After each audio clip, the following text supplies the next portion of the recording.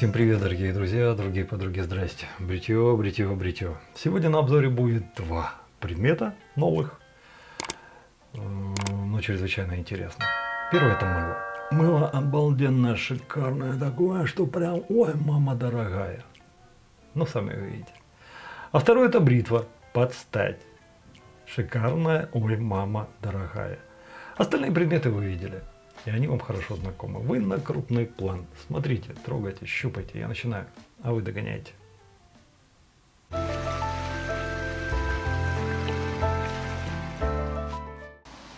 Вещи, которые будут сегодня аккомпанировать. Реколон Шипр королевский. Замечательное, великолепное изделие, к сожалению, уже утраченное. Его и не производят, и не продают.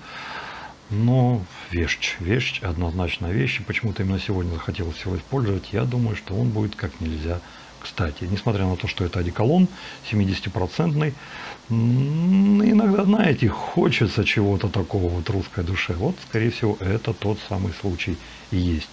А также великолепное, замечательное, классное изделие немецких мастеров компании Mac лампочка барсучок с замечательной великолепной ручкой, которую кроме как у них я не встречал до последнего времени, а сейчас даже Китай стал это использовать. Это ли не признание? Так вот, сегодня он тоже у нас поучаствует. А в чем же? Сегодня будут два предмета на обзоре. Давайте начнем с самого маленького. Это мыло от всемирно известной компании Сапонифиция Варисина, которая функционирует, працует на нашем рынке 45 -го года и называется десерт Вет Ивер, и который я могу вам показать благодаря Геннадию Белову, город Москва. Это вот такая вот, ну, ну премиальная, ребят, премиальная все-таки версия, и это легко увидеть не только по коробке, по сопроводительной вот такой вот вещи, но и по дополнительной коробочке. Вот такая вот версия вся полностью стоит 37,5 евро. Сами понимаете, нифига не дешево. Ну и тут Special Edition, прочее, прочее, но это не единственное, чем, скажем так, э, можно назвать это мыло необычным может даже выдающимся. И не из-за его веса 170, 150 грамм, и не из-за его твердости, а, наверное, знаете еще из-за чего? Потому что оно веганское, но не просто веганское, та палитра, палитра масел, которая используется при его изготовлении, но она поистине просто впечатляет. Там ни одно, ни два, ни три, даже не пять. Их там дофигаща. Но, про между прочим, компания еще заявляет, что они против вырубки деревьев и производства именно вот этих мыл, скажем так, сохраняет деревья. Потому что вот все, что здесь использовано, оно использовано все натурпродукт. И там, короче, там столько всего наворочено. Короче, оставлю ссылку в описании под видео. Сходите к ним на официальный сайт, посмотрите сами. Но,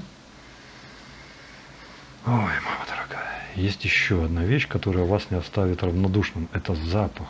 Запах этого мыла. Я бы, наверное, покривил душой, если бы сказал, что все, больше в этом мыле замечательного ничего нет. Так нет, ребят, все же есть.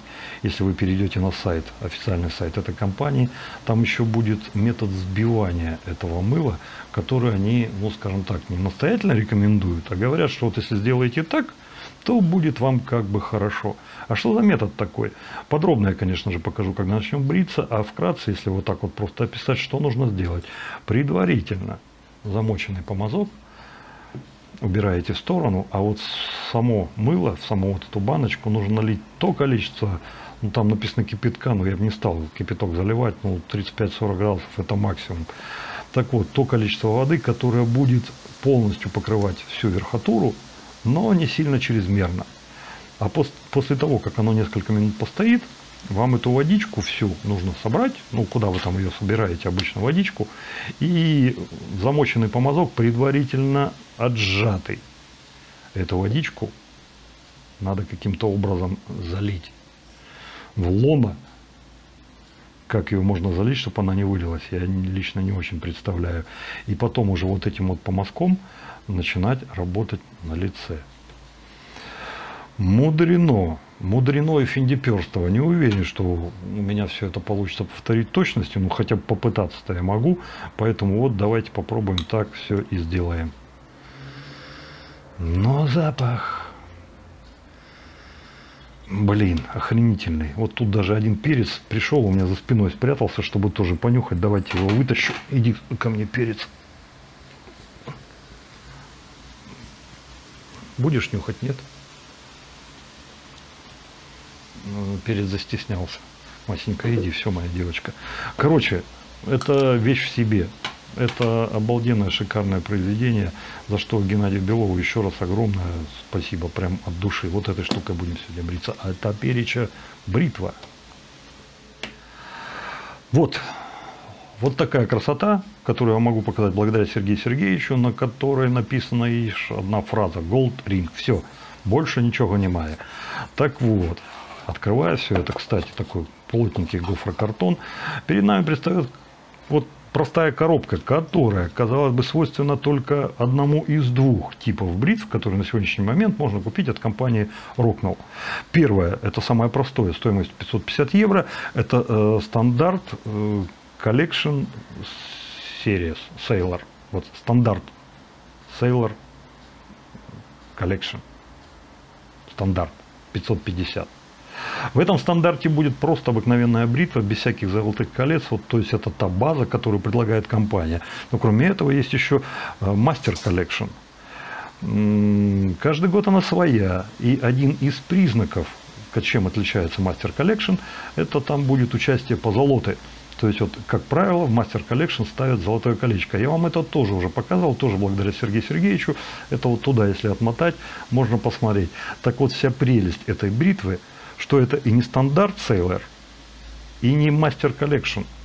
Это нечто особенное. В чем же заключается эта особенность? Так вот, смотрите. Ну, во-первых, конечно, в коробке, потому что Master Collection, наверное, все идет там вот такие вот прям бомбасы, папуасы, маракасы, там ну, просто коробище, коробище, там контейнер целый. Здесь коробочка поскромнее. Она вот как раз вот, вот видите, там серийный номер, то все, ля-ля-тополя. Но еще и самой бритве. Так, делаю крупнее. Вот это вот произведение искусства из нержавеющей стали весом 135 грамм также имеет золотое кольцо, которое Standard Collection в принципе э, права не имеет иметь. И в то же самое время это не Master Collection, потому что у Master Collection а в попе обязательно будет якорь. Я вам его тоже показывал. А здесь у нас вот что. У нас в попе дырка, как у вполне себе приличного, нормального инструмента. Так что это, ребят, нечто среднее. Это дороже, чем стандарт, но несколько дешевле, чем Master Collection. Э, год то ли 21 то ли 20 Сергей Сергеевич сам в этом не уверен, но тем не менее, вот как-то так он определяет вот э, годы появления, приобретения этой бритвы. И надо сказать, что Rocnel, оно время от времени выпускает такие вот линейки, в которых ну, не каждый человек разбирается. Поэтому, ребят, это просто бритва Рокнелл.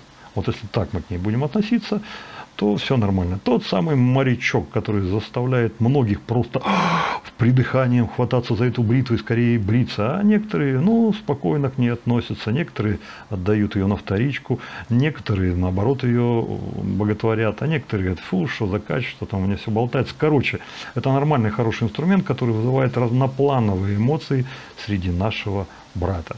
Давайте рассмотрим ее чуть-чуть поближе. Внизу, как водится, крутилка. На золотом колечке даже циферки стоят, которые вам помогут в некоторой степени регулировать вашу бритву. Полностью открутив крутилку, мы вот щелкнуло, слышите, эта резьба уже вышла из зацепления. Мы снимаем крышку и все. Здесь больше ничего не снимается. Если специалисты знают, как эту штуку можно разобрать еще больше, здесь он, видите, как винтик ходит.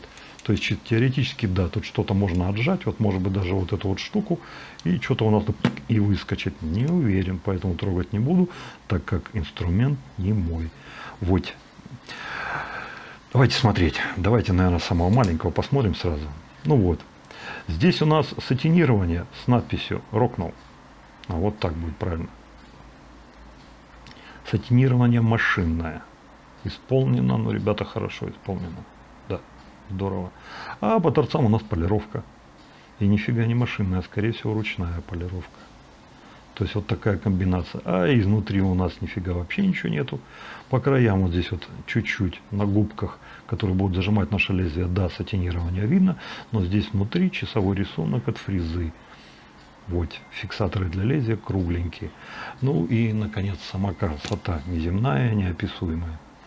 Насечка. Я бы не сказал, что она крупная. Скорее всего, здесь где-то в пределах от 1 до полутора десяток глубиной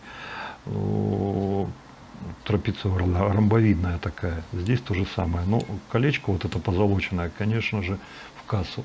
Есть у меня мысля э, покрывать некоторые бритвы, ну, допустим, ту же самую тайгу, какие-то экземпляры, немного, может там штучек 5-10, белым золотом, платиной. Но это пока в стадии разработки, поэтому вот как сказать, я все говорю, что вот эти вот вещи для меня тоже не чужды. Потому что есть люди, которые любят, чтобы вот их инструмент был украшен. Вот для таких людей это все и делается.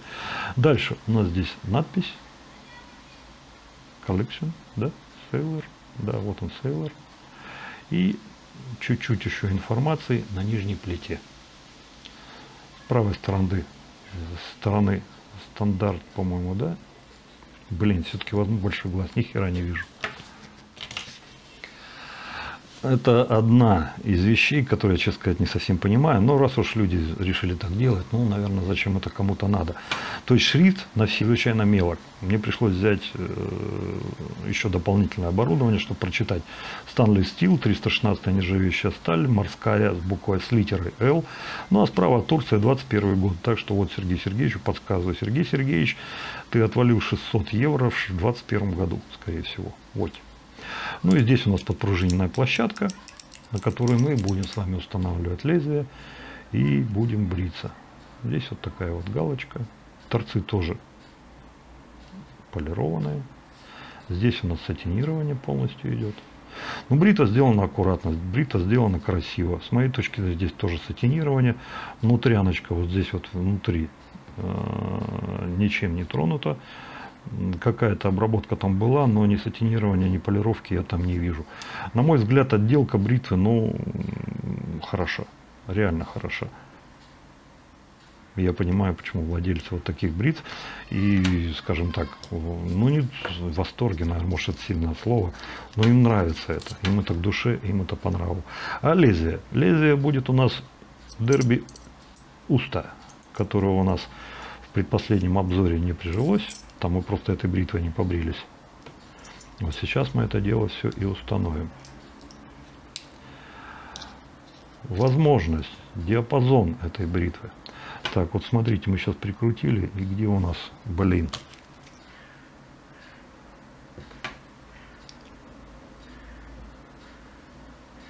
Ну вот у нас точка просто. А, я больше нигде ничего не вижу. Ну как, как регулировать? Так, давайте-ка я попробую голову перевернуть. Может я что-то сделал неправильно.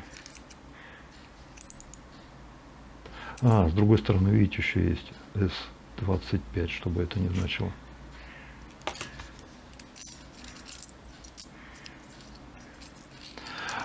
Ну, если вы впервые взяли эту бритву, никакой предварительной информации не взяли, у вас, конечно же, будет возможность тут поковыряться, порыться и что-то для себя новое узнать. Ну вот, да, судя по всему, крышка сыграла. Видите, то есть при перестановке крышки у нас все-таки вот этот пятачок вышел вот на эту риску. И, пожалуй, наверное, все-таки единственный ориентир, на который можно будет во время работы как-то опираться, что ли. Вот пошли первая позиция. Ну да, резьба маленько хрустит чуть-чуть. Вот один полный оборот.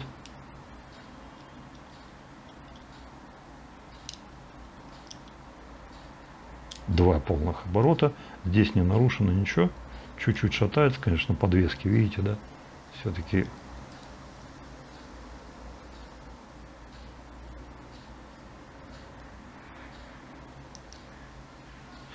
два с половиной оборота и все вылетело. То есть два с половиной оборота в нашем распоряжении есть, на них мы и можем опираться, начиная от нуля. Ну и давайте посмотрим, ну хотя бы, ну давайте вначале на одном, на базе, то есть как это выглядит. А теперь давайте с вами отобьем на один полный оборот. Вот.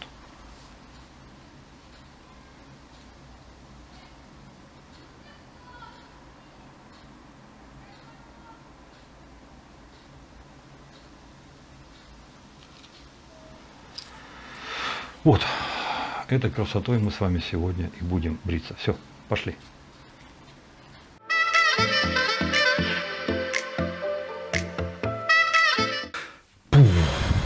Итак, давайте, наверное, я возьму чашу, потому что, скорее всего, она нам здесь пригодится. Потом, предварительно водичку, видите, да, я уже налил. И теперь, судя по всему, как там пишут на сайте, нам нужно взять опять же предварительно замоченный помазок, тщательно отжать. И давайте вот так вот сделаю. Почему я чашу поставил? Потому что ну, жалко будет, если мыльная вода будет протекать. И вот так вот нам это дело надо сюда вылить. На удивление ничего не протекло. Нет, протекло, протекло. Смотрите, капает.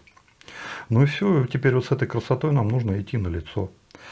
А то же, что вытекло, и вон там внутри в чаше осталось, я думаю, что потом буду добирать и опять пускать на лицо. если же вдруг у меня технология, с которой я, в принципе, сталкиваюсь впервые, не сработает, ну, ну, пару раз там кисточкой мазану по уже подготовленному мылу, и думаю, все будет нормально. Все, пошли бриться.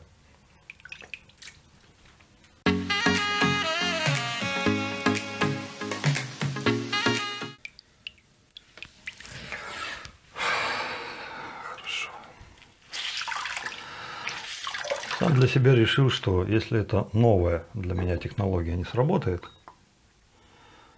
то вот сейчас я по мазкам еще забрал всю эту влагу здесь. Буду добирать прямо в чаше.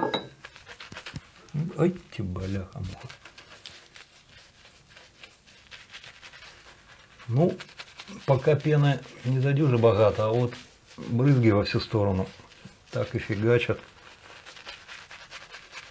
Ну, сам весь оттрухался уже. Да, бляха-муха. Запах, конечно, чумовой. Ребят, вы меня извините. Ну, не привык я анонизмом заниматься. Я лучше, наверное, все-таки в чашу возьму. Ну, что это? Вот так вот и сидите наезывать, что ли? Пока наши весной не придут. Вот буквально сколько тут, 20 движений так тырц. Ну вот, вот.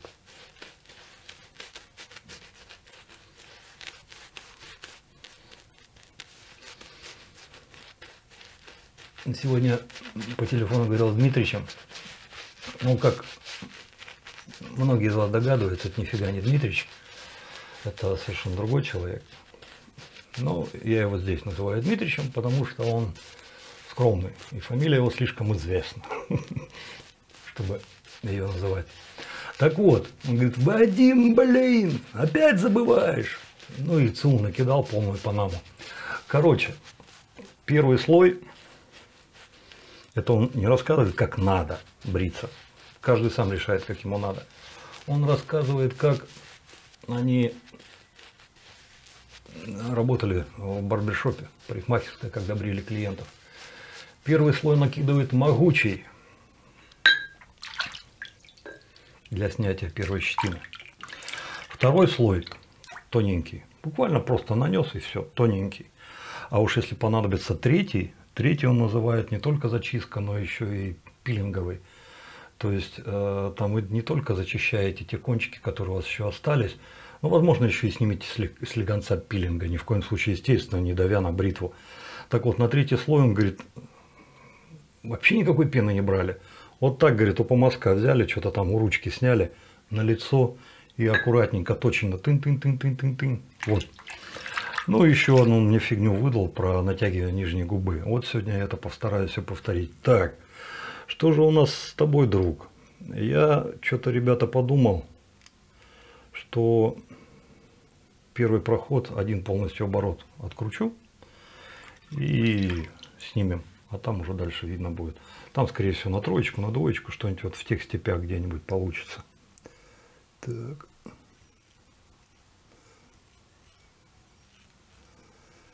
И еще один втык он мне ставил. Иванов. Не, он, конечно, в один говорит, это я уже тут приукрасил. Говорит, первый проход, вообще, говорит, бритвой э,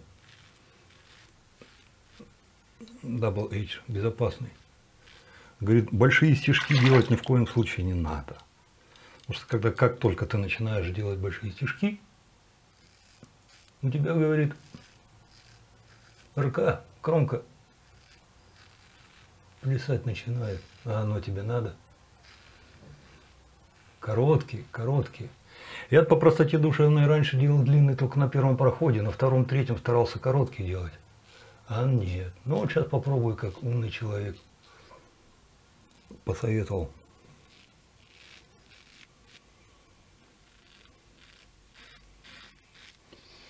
Ну, ребята, я вам скажу, да, это, это зверюга. Реально зверюга. Дерби сюда в кассу. Юста нормально, вообще хорошо. Так. А чё?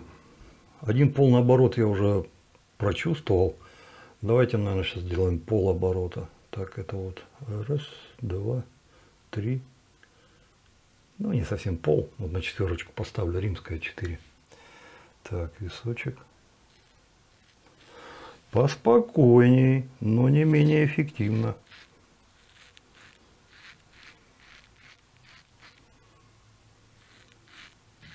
Hmm.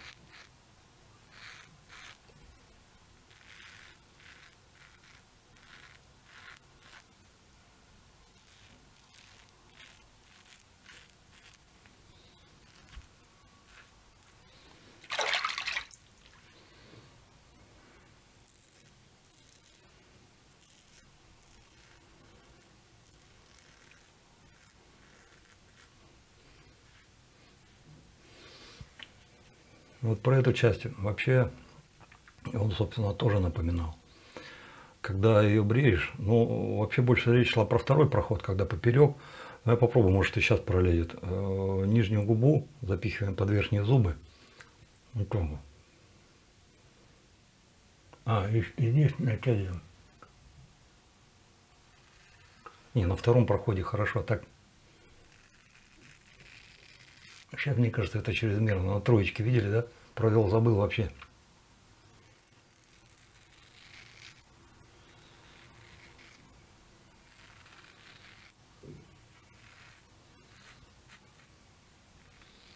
Странно, почему-то здесь впадинки не с первого раза отработала. Хотя по ходу вообще великолепно себя ведет.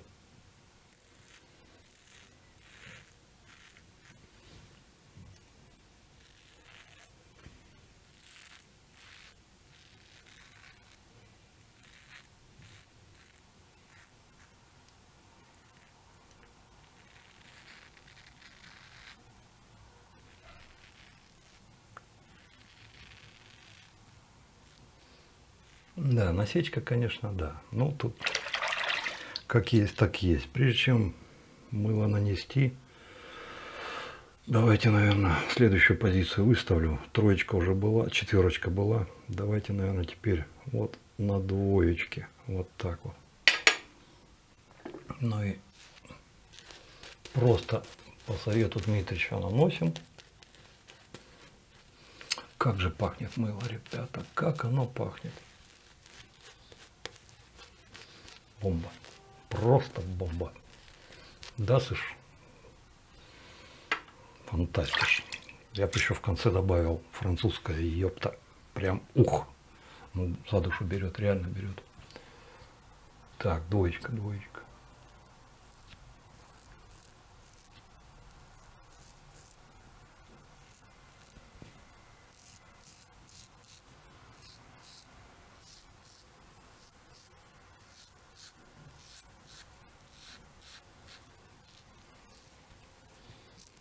Так, это надо брифку оставлю.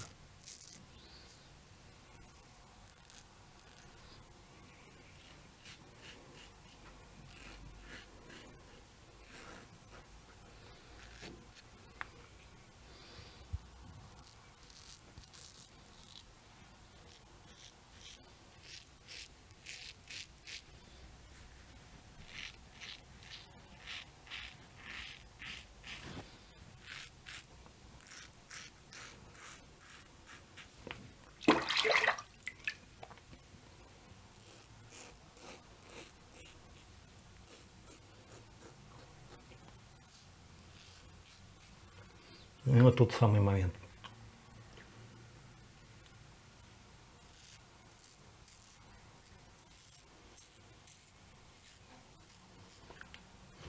Ну нет, при всем моем уважении, видимо, у меня вот строение челюсти таково, что когда я запихиваю нижнюю губу под верхние зубы, ну неудобно. Ну, во-первых, э, мыло могу нахвататься, во-вторых, запихивать язык под нижнюю губу и натягивать подбородок мне так гораздо удобнее.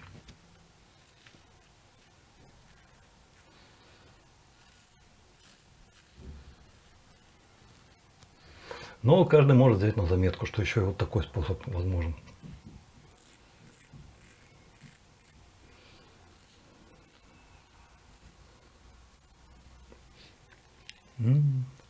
То есть в оригинале рецепт Дмитрича звучал так.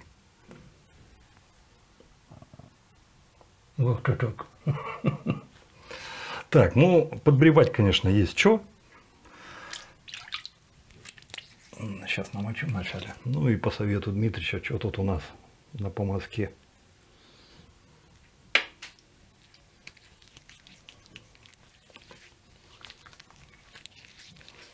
Ну, в принципе, то же самое с легкостью я мог сделать и кисточкой даже.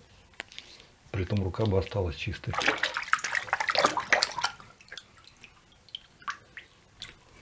Ну, самое главное у нас немного здесь пены. Поехали.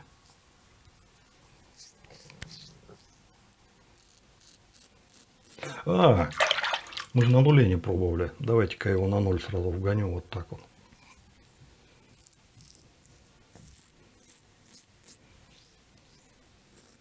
Не.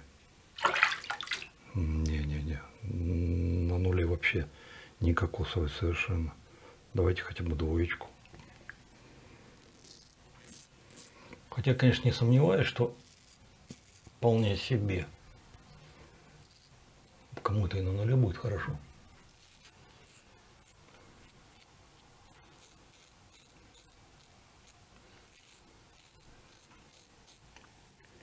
Beautiful. Так, что у нас тут еще осталось? По скольжению у мыла хорошее. Вполне себе хватает на всякие шалости в виде добривки.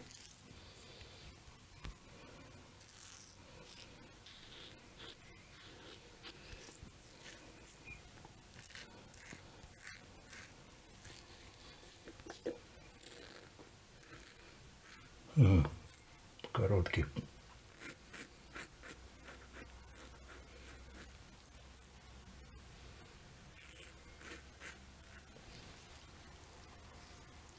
Ну все, тут нечего больше вылизывать.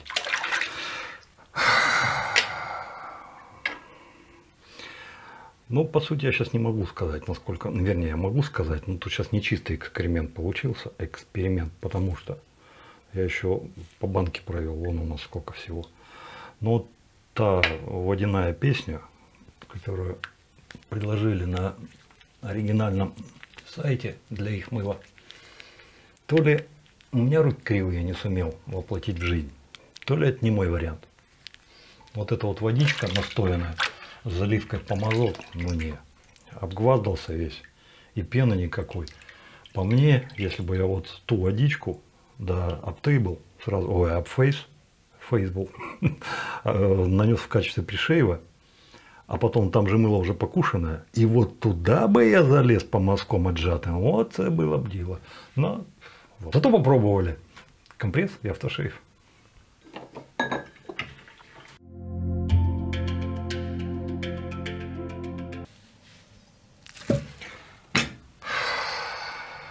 Хорошо, хорошо. Сдох Туцик, вмер. Когда записал бритье, пошел камеру выключать, а там батарея красная. Ну, если искать во всем хорошее, то хотя бы бритье успел записать. А как ни крути, с пеной на морде пришлось идти ставить на подзарядку. Ну, естественно, я пену убрал, потому что ну, за полчаса, сами понимаете, высохло бы все. И опять же, если искать во всем хорошее, получил представление, что без всякого автошей, вообще без нифига, совершенно. После этого мыла кожа была бархатистая. Ну так реально. Так что вот, можно сказать, случай помог. Итак, одеколончик наш. Ален Делон любил одеколон. Шипр. Шипр, мне кажется, особенно королевский, это состояние души.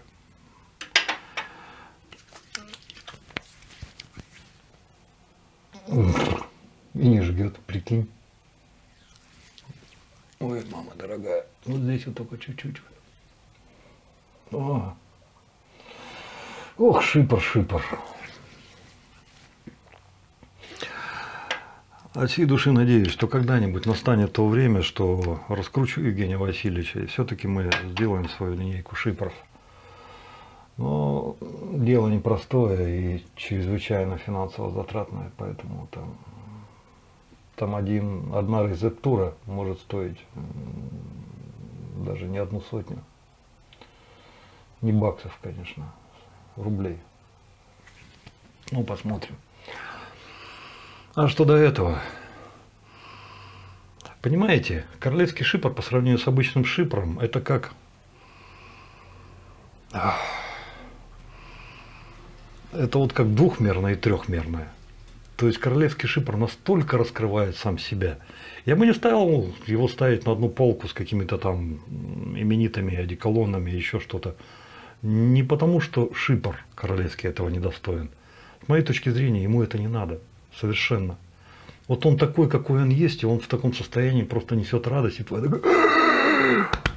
Ты вот, когда из бани вышел, сугроб бросил, кинулся вот так вот, перевернулся, или там прорубь, или еще куда-то, ты думаешь в этот момент, что... А чем, собственно, это можно заменить? Каким-нибудь там массажем, там, креслом японским, китайским или еще, чтобы он тебе там все разбабашил. Или там еще что-то. Да нет же, ты просто ловишь кайф. Ну вот в этом случае ты просто ловишь кайф и все. И очень-очень жаль, что его сейчас не купить. Печаль. Грусть, печаль, тоска. Голова боль или попа боль тут уже как прилетит. Шикарно. Шикарно и кошерно. За помазок говорить не буду. Помазок это реальная тема. Помазок хороший. И шоемаки, ну, они свое дело знают. Знают. И все у них было. И взлеты, и падения, и недоразумения. Совсем переборолись и делают вот такие вот замечательные изделия. Это, конечно же, вещь. Мыло. Десерт ветивер.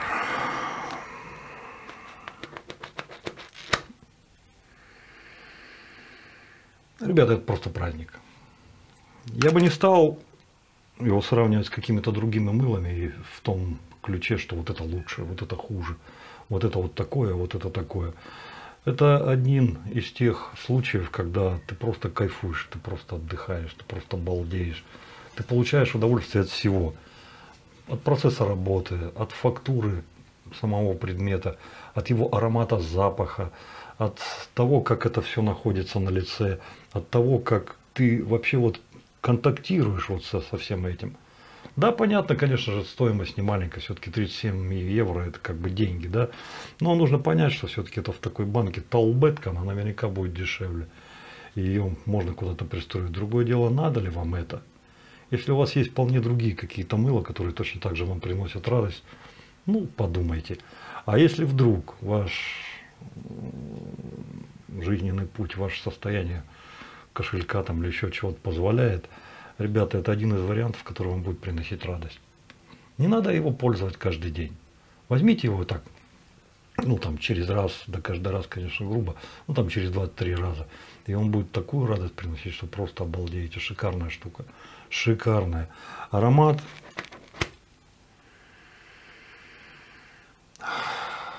Ну, я вам показывал уже описание. Там ребят всего напихали. Я когда читал тот перечень ароматов, который у них там вот так вот дын -дын -дын -дын -дын -дын пошел, их там 100-500 штук, я сижу, читаю все это, думаю, да вы что? Вы что, ребята, с глазу Игоревича, что? Это ж вот столько всего напихать, это наверняка будет такая какофония. Ну как в ней разобраться? А оказывается, дирижер достаточно опытный, и все ноты не пропали даром. Все вместе здесь совмещено в такую симфонию, что И сравнить-то не с чем. Это и не фруктовый э, какой-то рай на земле, это и не зелень, это и не океаническая нота, это, это просто эйфория. Эйфория древесного. Может, с первого раза вы здесь ничего и не чувствуете, но какая-то горчинка, все-таки она присутствует. Но с другой стороны, а может, это горчинка от какого-то там семечки там лимона или лайма или еще от чего-нибудь. Но общая направленность – это это восторг, это феерия, это что-то нежное, легкое, э, аки безе, и вот ты просто и ты не ешь это, ты вкушаешь, ты фибры, фибрами души все это впитываешь, и ты просто кайфуешь от этого аромата. И чтобы ты случайно не запутался на каком-то свете, все это подтверждается вот той маслянисто, шелковисто, вот такой вот пеной. Но она реально кайфовая, реально кайфовая. И работать с этим интересно, и работать с этим хорошо. А, еще раз, Геннадий, огромное спасибо. Хорошая штука. Реально хорошая штука. Ну, это, это как бурбон. Хороший бурбон. Который каждый раз бухать ты не будешь, а вот так вот там, допустим, там по празднику какой-нибудь там писярик налил. И хорошо. Вот что-то типа такого. Обалденная штука. Рокнул. Это и не первый, не второй, и даже не третий рокнул на нашем канале. Все благодаря Сергею Сергеевичу. Я вам показывал уже и стандартные версии, и с Master Collection. Ну, помните тот, который с якорем Поппи? Было все. И благодаря тому, что мы вот это вот все с вами попробовали, опять же, спасибо Сергею Сергеевичу, я вам точно могу сказать, совершенно пофигу, какой вы Rocnel возьмете. Или это будет стандарт, или это будет Master Collection.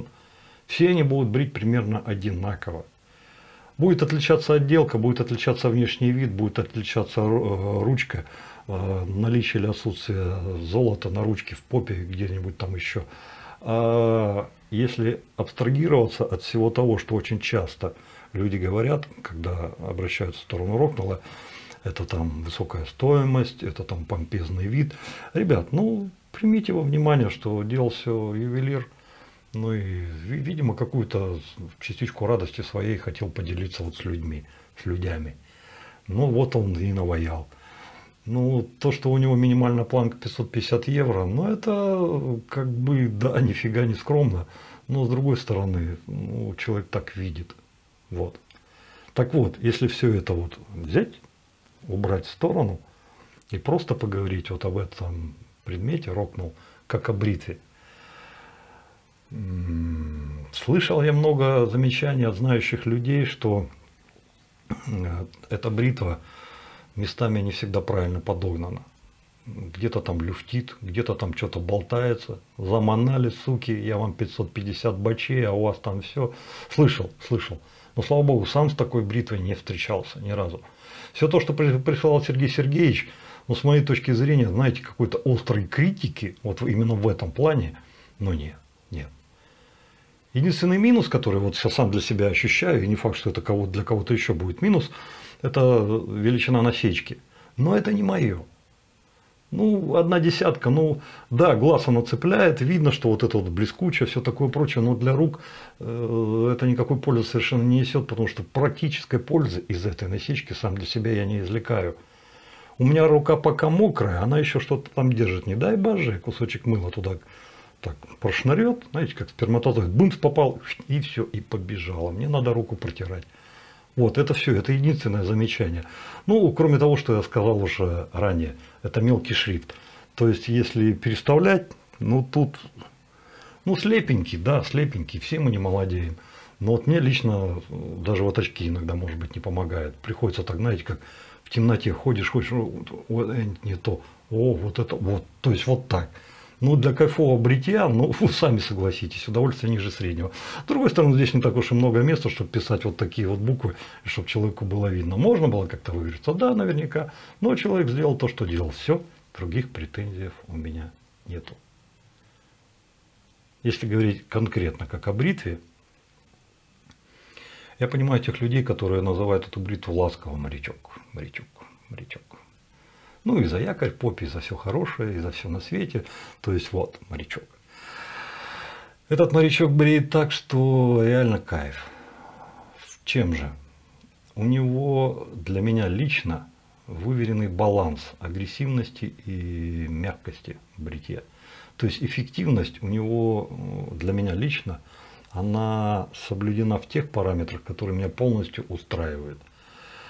Мы с вами сегодня пробовали эту бритву от нуля до э, шестерки или что там, пятерка, шестерка, да неважно, там можно посмотреть. То есть до максимума, один полный оборот.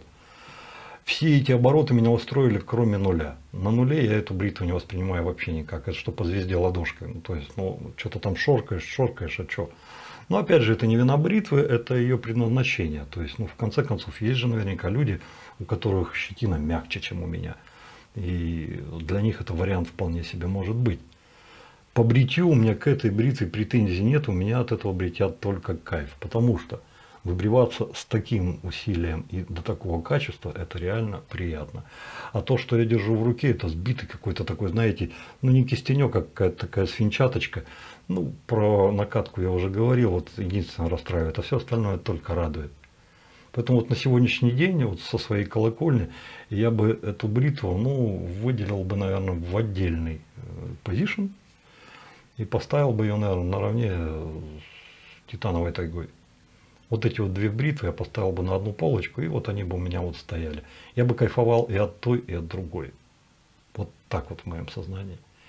Если идти дальше и совершенно не бояться задеть, задеть чьи-то нежные трепетные чувства, я бы сказал кое-что.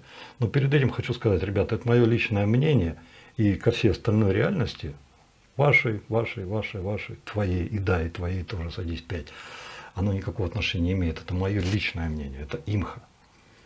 Так вот, на вторую полочку рядом я бы, наверное, посадил гипса Эденали. Ввиду их мягкости и комфорта дружелюбности, то, как они работают. Для того, чтобы их поднять на полочку повыше, мне бы, наверное, все-таки не хватило размеров и веса, потому что это все-таки чуточку меньший инструмент.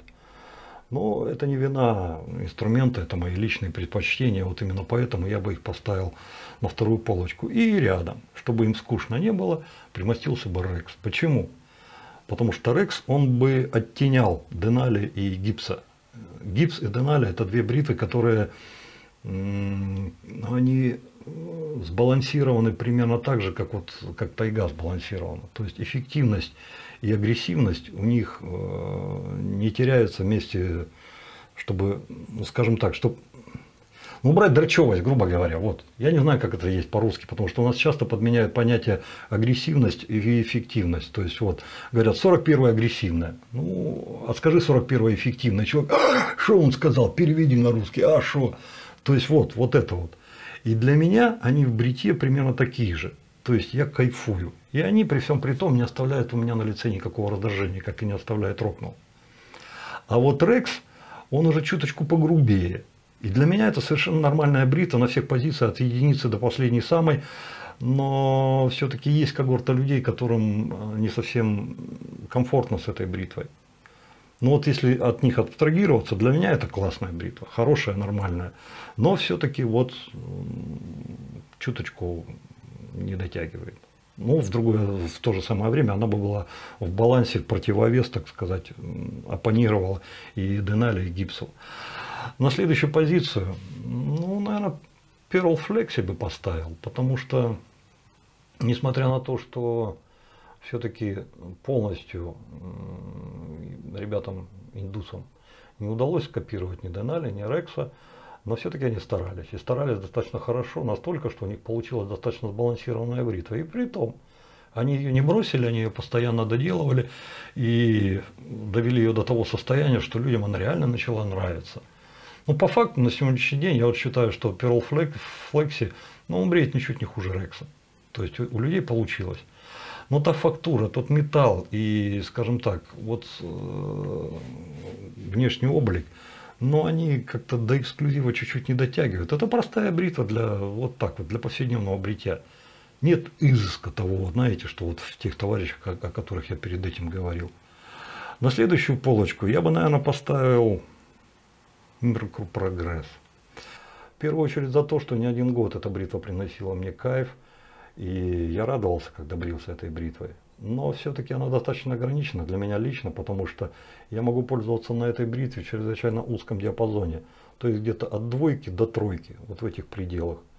Ниже двойки я ее не воспринимаю, она для меня слишком мягкая. А выше тройки, когда забираюсь, я рискую себе оставить раздражение на лице.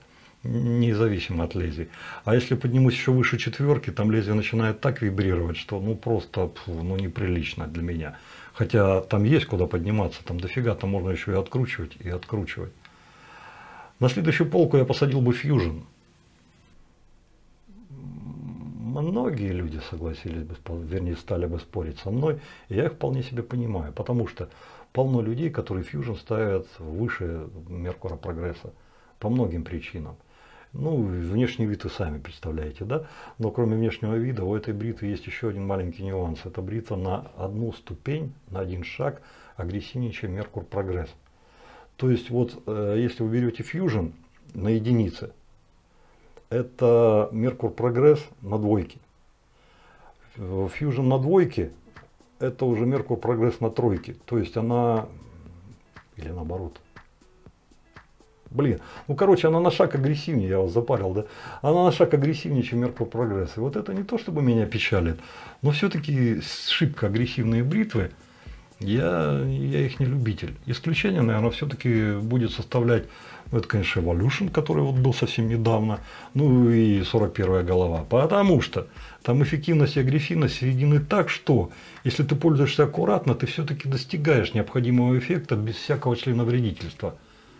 А вот если ты раздолбай, то ты все-таки сделаешь себе хорошо, но что-то там по пути все-таки снесешь лишнее. Потом тебе прищут, не переживай. А вот те бритвы, которые, несмотря на свою агрессию, все-таки не дают достиг, достигнуть вот такого состояния, ты шоркаешь как дурак, а у тебя там не уходит. Ну тут одно из двух, или бритва, или у тебя руки кривые. Я предпочитаю думать, что бритва, хотя может быть совершенно наоборот. Такой, знаете, момент. Вот, ну и во всей этой истории я бы хотел сделать акцент на том, что это мое сегодняшнее видео. Если это видео кто-нибудь посмотрит пару лет спустя, а потом скажет, а вот там Иванов говорил, а сейчас говорит совсем другое, там, а, звездобол. Ребят, все мы люди, все мы человеки, и благодаря тому опыту, который мы приобретаем, идя по жизни, э, бывает время от времени мы все-таки пересматриваем свои точки зрения. Я считаю, что это вполне себе нормально. Если есть такие люди, которые вот как родился с одним впечатлением, так и помер, ну что, ну грустно, конечно. Ну, к сожалению, такое тоже бывает. Ну, это не есть признак ума или творческой личности, но бывает, бывает, ничего с этим не поделаешь. Возможно, косорез, когда выйдет, слегка поменяет тут вот расположение, но он совсем, вернее, не совсем вписывает сюда, несмотря на то, что это регулируемое, но все-таки косорез, поэтому хз, хз. Там главная идея состояла в том, чтобы вот получить кое-что, что я очень хотел. Наконец-то мы все-таки этого всего добились. И сейчас уже бритва запущена в производстве. Я с души надеюсь, что где-нибудь осенью мы ее увидим. Точно когда я не могу сказать. После этого пойдет уже орелика, после орелика пойдет автограф. И вот так потихоньку, помаленьку мы все-таки все это компенсируем. Не получается быстро, да, да, да. Но не все от нас зависит. На этом, на этом разрешите с вами попрощаться. Добра, счастья, радости. Берегите себя, берегите своих близких. Дай вам Бог здоровья. Пускай у вас всегда-всегда все будет хорошо. Ну и до новых встреч. В следующий раз придумаем что-нибудь еще интересное. Пока-пока.